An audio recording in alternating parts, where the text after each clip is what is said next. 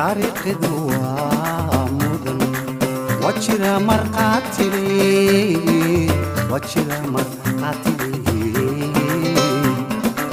warbixintan waxaynu ku qaadaa dhigi doonaa dhacdooyinkii ugu waaweynaa ee sannadkii labada kun iyo sagaaliyo tobanka ka dhacay deegaanada somalilan horaantii bishii januari xukuumadda somalilan waxay horaantii bishii januari xukuumadda somalilan waxay ka soo horjeesatay caydhinta xogayihii hore soomaaliya u qaabilsanaa qaramada midoobay nicholas haysam taasay wasaaradda arrimaha dibadda somalilan soo saartay oo saxaafadeed ay kaga xun tahay. Caydhinta ay soomaaliya u geysatay. Xogayihii hore ee qaramada midoobay u qaabilsanaa soomaaliya nicholas haysam taasoo xilkiisa la soo buuxiyey soddonkii bishii may labadii kun iyo sagaaliyo tobankii loona magacaabay james swan oo weli haatan haya xilkaasi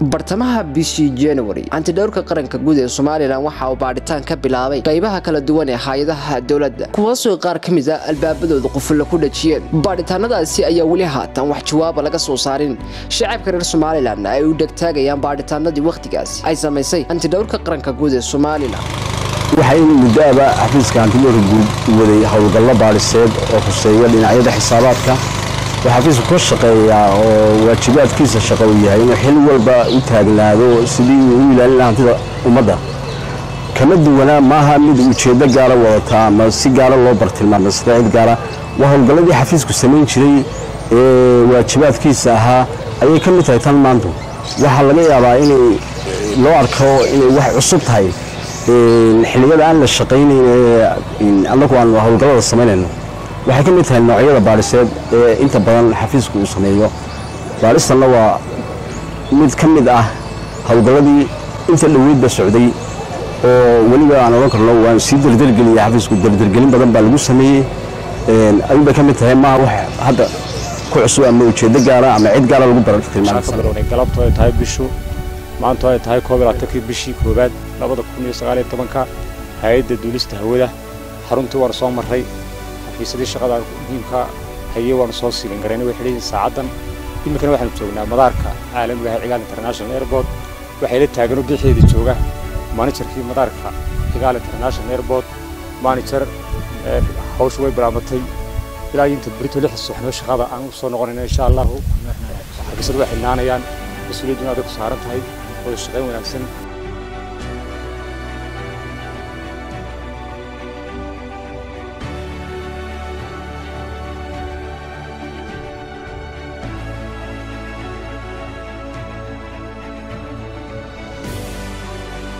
dabeeqada bishii januari waxaa bilaabmay taxanaha dibudhaca doorashooyinka somalilan taasoo muddo kordhin loo sameeyey labada gole ee somalilan sidoo kalena loo go'aamiyey doorashada inay dhacdo labiyo tobanka disembar labada kun iyo sagaaliyo tobanka. Labiyo tobanka soo jeedintu in ay labiyo tobanka disembar doorashadu noqoto ee sanadka kan labiyo tobanka janawari ee kal dambena ay ku eg tahay muddada xil. Intaasaynu ugu codaynaynaa. Intii ogol soo jeedintaasay gacanta taagan. Hadalka ha la daayo. Waar hadalka ha la daayo? Muxuu yidhi dejiya deji waxaa u codaysay soo jeedintii waxaa u codaysay sagaal iyo lixdan xildhibaan aniguna ma codayn. Toddobaatankii sidaasuu ku leeyahay sidaasuu ansax ku yahay. Soo jeedintii muddadii xilka ee golaha wakiilada iyo wakhtiga doorashada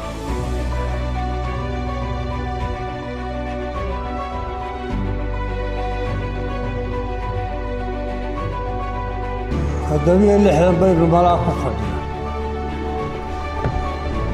waa tiro yar malaa maanta diyaar looma aha kordhin taa wuu ka badan jiray marka haddaad daasheen dee aad doorasho gallaylata daynu daallay daynu daallay aan doorasho gallatay سكدد ما هي ولا مدكي قولي وعويني طاسة واحد وياي وين صح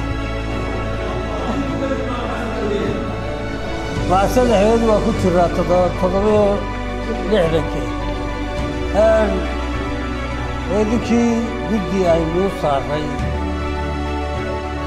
بلارم بلار نص بعض بلار تضربه لا صدر تجي صدر أنا مركز تجي دول ترى الله بطا أو هي اجود مركز الله بطا أنا قامي صدر يا وايه اجود دي انك بدنا واحد قادر نجي أقول لك أنا وين بحكي بجلدي معاك انت وايه أنا سبيسر مركز اللي ما نضيع دوحة مرة الثانية koob iyo toddobaad markay ka sii badataba ka sii wanaagsan waynu codkii baynu gelin laba sannadood in lagu kordhiyo muddada xilka ee golaha wakiilada way safgaran waxaa oggolaaday toddobaad. Aniguna ma codaynin koob iyo toddobaatankaasaynu ku fadhinaa sidaasuu waasax ku yahay kordhinta xilka golaha wakiilada oo laba sannadood toddobaatan ba oggolaadeenna ma codayn diidmana ma jirto. Cidina kama aamusin. Maanta xilkii waa laga ahlan wasahlan horaantii bishii mey waxaa magaalada hargeysa ku geeriyooday sumadii samatalisnimada somalilan waa xaaji cabdikariin xaaji yuusuf cabdiwaraabe allah u naxariistay xaajiga waxa uu samatalisnimadiisa iyo odaytinimadiisa kaga soo qayb qaatay dabodhiska somalilan kaasuu qayb lixaadla ka ahaa. Xaaji cabdiwaraabe ayaa waxa uu ka mid ahaa golaha gurtida somalilan kaasoona ahaa odaygii ugu weynaa wakhtigaas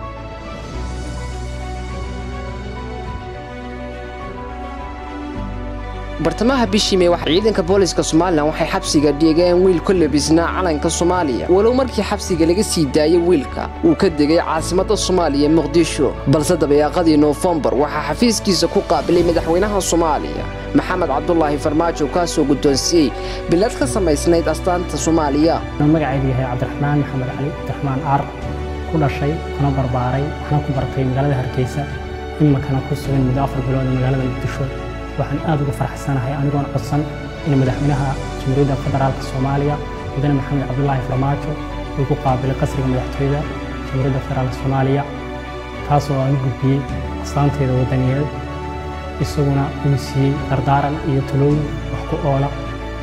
Waxaa kale uu madaxweynaha jamhuuriyadda federaalka soomaaliya mudane maxamed cabdulaahi farmaajo uu guddoonsiiyey hadiyad sharaf iyo astaan ka samaysan calanka soomaaliya. Waxaan ka mahad celinayaa soo dhawooyinka madaxweynaha jamhuuriyadda federaalka soomaaliya mudane maxamed cabdulaahi farmaajo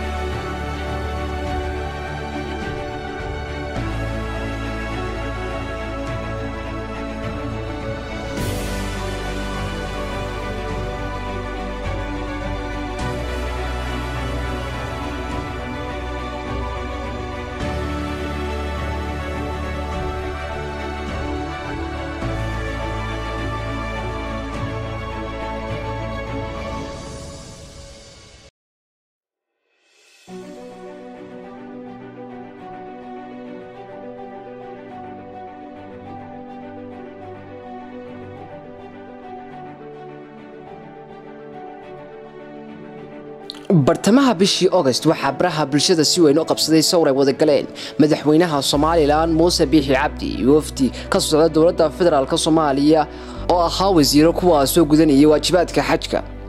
Sawirkan oo si weyn loogu falanqeeyay qaybaha kala duwan ee baraha bulshada ayaa waxaa ka hadlay wakhtigaasi guddoomiyaha xusbiga mucaaradka ee wadani. Sidoo kalena tix uu soo qabsaday arrinkaasi. Soomaalidu waxay tidhaahdaa inaad saamajiidi iyo sanqartirasho kala dah marka waxay la tahay dee way caddahay shacbiga reer somalilan waa reer somalilan annagu waa warmayno laakiin waxay ka muuqataa ficilkooda wixii ay dadka ku caayayeenna in iyagu sameeyaan ceeb bay ku tahay wasiir cawad oo ka mid ahaa wafdigaasi ku sugnaa dalka sacuudiga ayaa ay idaacadda afka soomaaliga idaacadda fiyoolaanteeda afka soomaaliga wax ka weydiisay kulankoodaasi wuxuu daarnaa waxaanu sheegay inay ahaayeen dad walaalo isu soo hiloobay. Laakiinse kulankoodaasi uusan ahayn mid siyaasad khuseeya. Dabayaaqada bishii sebtembar ee labada kun iyo sagaaliyo tobanka guddoomiyaha xusbiga mucaaradka ucid injineer faysal cali waraabe ayaa shaaciyey in wafdi ka socda somalilan ay ka qaybgelayaan caleemasaarka madaxweynaha maamul goboleedka jubbaland axmed islaam axmed madoobe maalmeer uun kadib waxaa shaaciyey inuu ka qaybgalaya caleemasaarka xildhibaan naasir cali shire oo ka mid a golaha wakiilada somalilan walow maalimo uun kadib haddana uu dib ka sheegay inuu safarkiisii baajiyey taasna ay u sababeeyeen. Marka halkan waxaan ka dhawaajinaya maanta in aan ka noqday go'aankaygii ahaa inaan ku tago kana qayb galo caleemasaarka jubbaland oo aan una tanaasulay qarankayga iyo ummaddayda reer somalilan oo dhammaantood u arkayay wakhtigaasi caleemasaarka waxaa ka soo dhex muuqday maxamed aadan cilmi ilka casiye oo ahaa agaasimihii hore wasaaradda shaqogelinta iyo arrimaha qoyska somalilan kaasoo saxaafaddu wax ka weydiisay wakhtigaasi waxa uu ku jawaabay waxauu safarkiisaasi ku sameeyey inuu ahaa mid shakhsiya dabayaaqadii bishii sebtembar ee qaybo ka mida bariga somalilan waxaa dad ku laayay gorogor kaa soo cunay ubad yar oo ku nool deegaanadaasi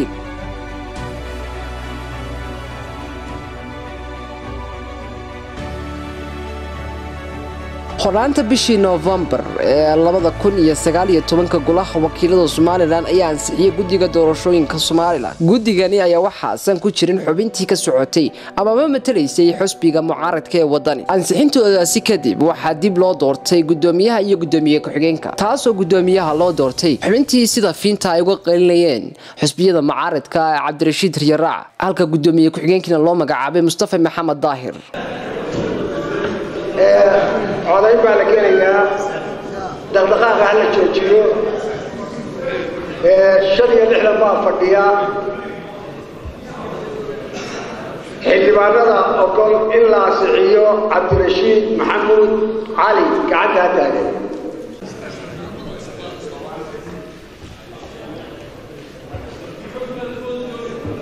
Saf waliba koonideeda ha u tiriso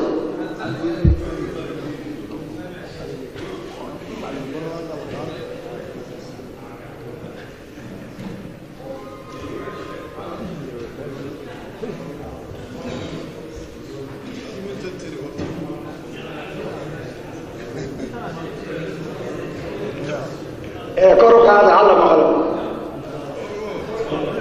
dejiya bas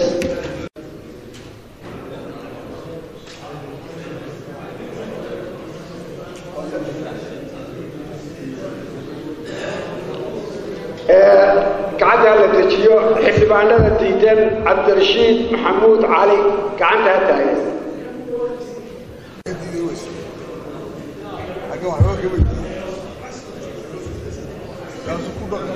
halkaa ka sheeg cabdisaan halkaa labiyo toban gacanta hala dejiyo xildhibaanada ka aamusay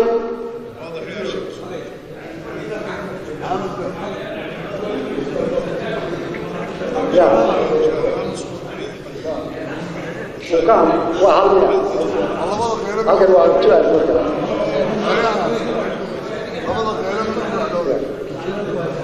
tuaal imsaa ka aamusay yaa imsaa diiday ma saddex iyo toban mise waa labiyo toban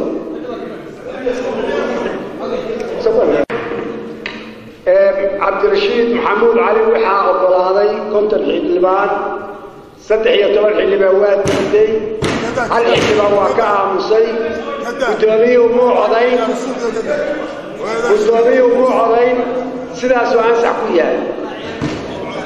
guddoomiyuhu muu codayn sidaasuu ansax ku yahay waayo hadalka hala joog maxamuud daahir jaamac xildhibaanada ogolay gacantaa taagay gacanta ayaa la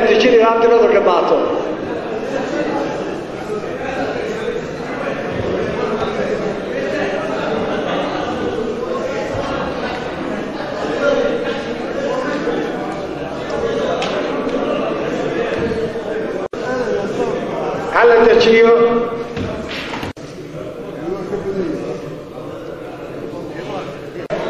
dejiyo maxamuud daahir jaamac xildhibaanada diidani gacanta ha taagay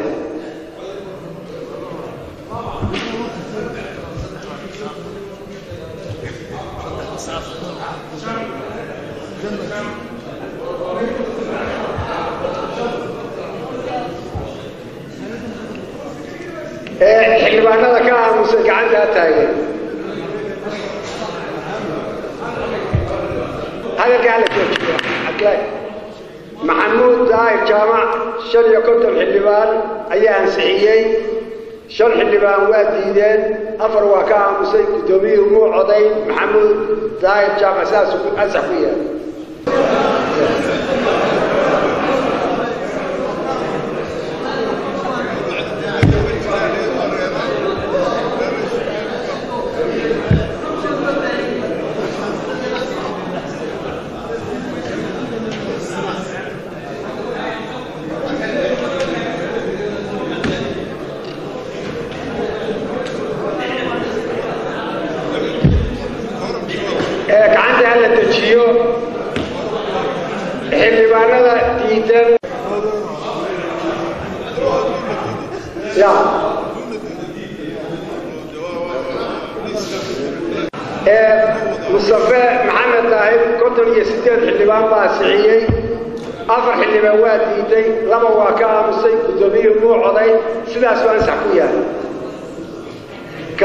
la ansixiya gacanta ha taagan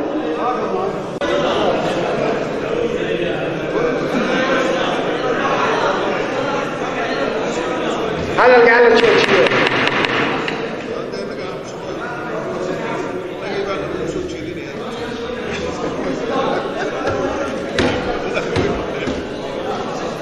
Gacanta hala dejiyo xildhibaanada diidan in la ansixiya gacanta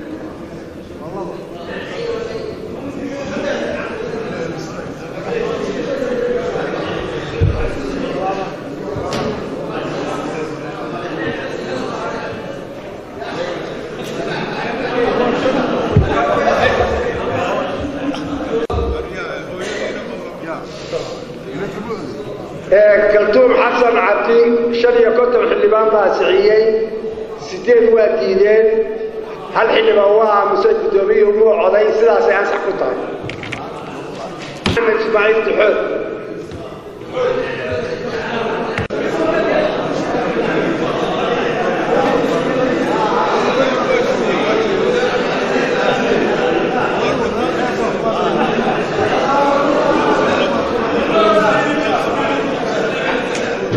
hadalka hala joojiyo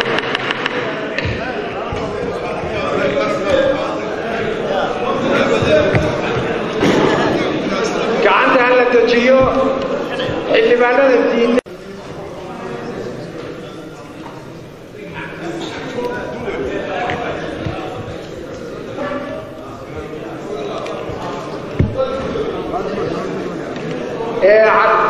hala dejiyo cabdiraxmaan maxamed xood konton iyo sideed baa ansixiyey cidima diidin lix waa aamustay guddoomiyihii muu coday sidaasuu ansax ku yahay xasan yuusuf ducaale xildhibaanada ogol in la ansixiya gacanta ha taagan.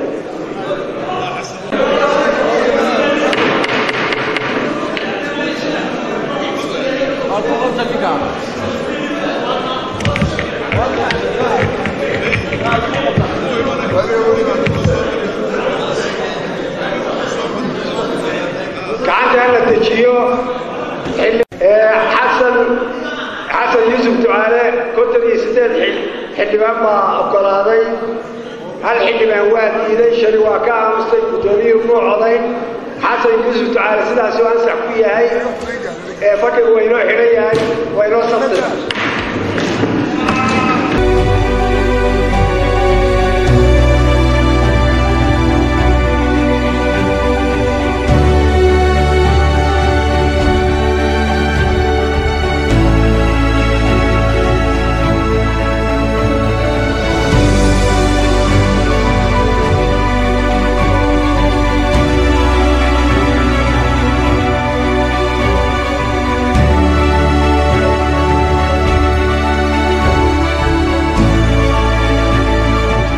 iyo tobankii disembar waxaa somalilan ka dilaacay jabhad lagu magacaabo s s c amaba xoraynta sool sanaag iyo cayn. Dadka waxa weeye odayaasha ee safarrada dhaadheer u soo galay deegaankan buuhoodleh iyo ka qaybgalka xafladdan dib u cusboonaysiinta waxa weeye maaragtay jabhaddii xoraynta s s s s liberation. Intaa kadib waxaan doonayaa halkan inaan maaragtay bayaan baaq yar ka soo jeediyo baaq ka soo baxay hoggaanka jabhadda s c kuna wajahan dadka deggan sool sanaag iyo cayn. Guud ahaan meel allaala meesha joogaan guda iyo dibadda. Guddiga jabhadda iyo hoggaankeedu waxay bulshada ka soo jeeda sool sanaag iyo cayn.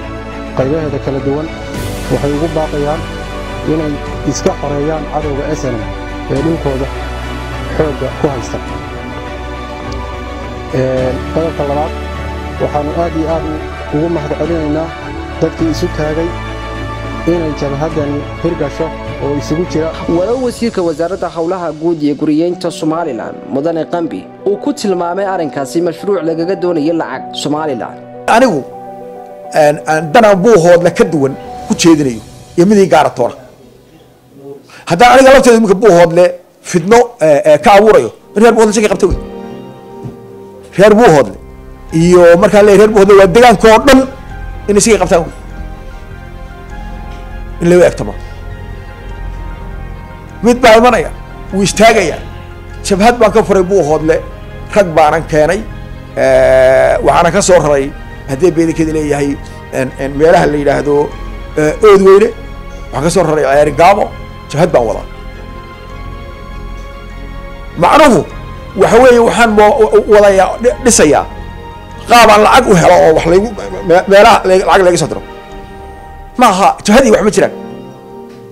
Buu urursaday eg rag baa wada nin baa odhanaya reer buu hodlaasaa.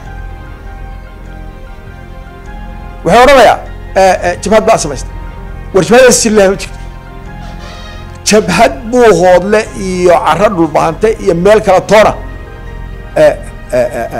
Xoreynaysaa ma jirto waa qaab lacag waa mashruuc xitaa siyaasadii kuma jirta waa lacag. Waxaan diyaar u ahay waxaan laynayaa ummadda buuhooda tugta waxaan isku dilayaa dariskooda reer buuhoodle inay ka digtoonaadaan weeye taariikhdu waa mudan. Waa jira markhaatile waa jira markhaatile waa maxamed badri maxamed maxamed soomaali telefishinka caalamiga star.